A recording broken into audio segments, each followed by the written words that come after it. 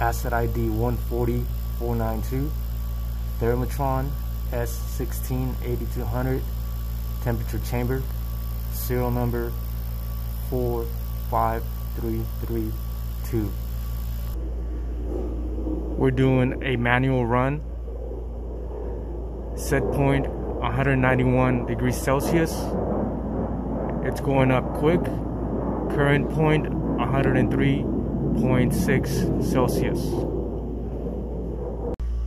It's been a little bit over 10 minutes. It is now at 152 degrees Celsius. I'll give it another 10-15 minutes. Do another quick video. Once it reaches 191 degrees Celsius, I'll set it to its lowest temperature set point to demonstrate the proper operation of this chamber. Well, it's been about 15 minutes since the last video clip.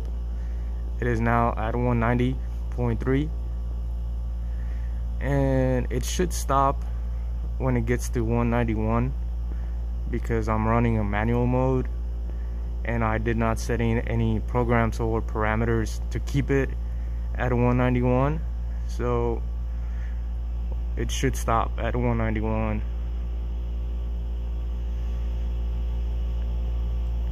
after it stops I'm going to go ahead and set it to the low temperature and do a few more video clips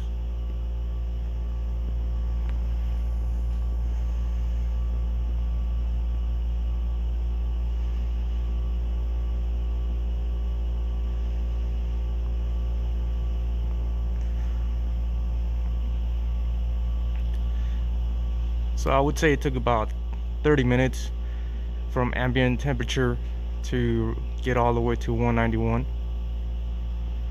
and it should be stopping any minute. There it is. High process alarm. That's because we're on manual mode and it reached 191 so it stopped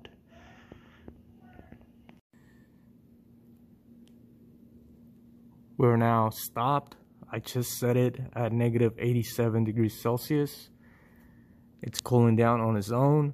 We're gonna hit run and I'll do another video when it gets close to to its set point.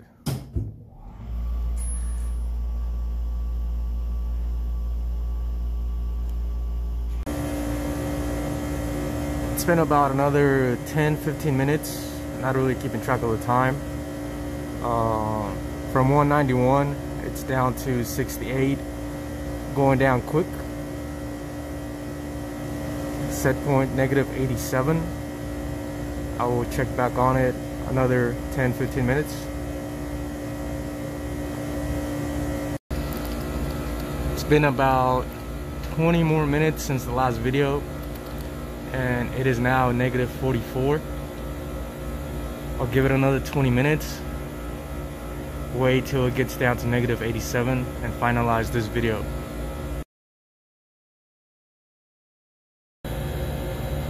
This would be the last video clip.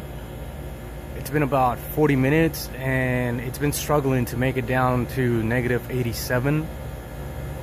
It is a six year old chamber, so it might need a refrigerant charge.